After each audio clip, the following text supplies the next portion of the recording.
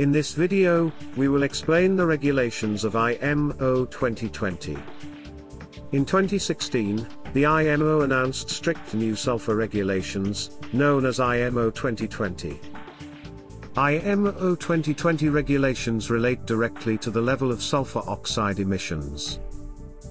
According to the IMO, limiting sulfur oxide emissions improve air quality in port cities and coastal areas, and protect the environment.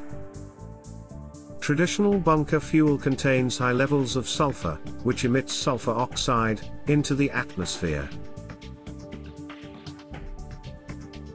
IMO 2020 states the limits of sulfur in fuel oil must be reduced from 3.5% to 0.5%. Shipping lines must ensure that fleets are compliant before January 1, 2020. They have three main options. Purchase cleaner, more expensive, low sulfur fuels.